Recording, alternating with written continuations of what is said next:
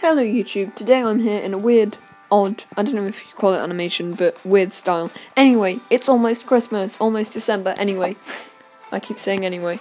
Right, to prove I like Christmas, because the title looks doubting, I have a lollipop. Lollipops are nice. I don't know why they're festive, but I have a Christmas tree now.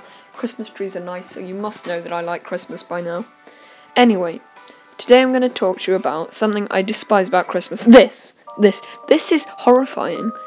Santas who are just creep. Like, what, what, what, what, why? Why do they need to be here? Just to clarify, I do like Santa. Santa is an amazing thing, but that creepy one is just no, no, anyway, I want you to picture this scenario. So, Kevin, this is Kevin. He's 13 years old and he goes in and watches his little brother and sister sit on Santa's lap, etc. You know, in Santa's grottos.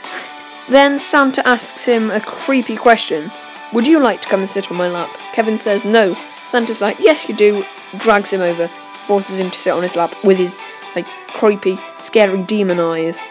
Kevin reluctantly goes and then ends up running out. And why did that creepy Santa need to do that?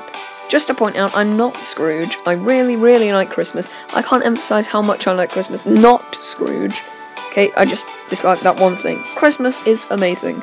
Apart from that one thing. Just uh, don't understand why they feel the need to take teenagers and embarrass them like that. End of moan.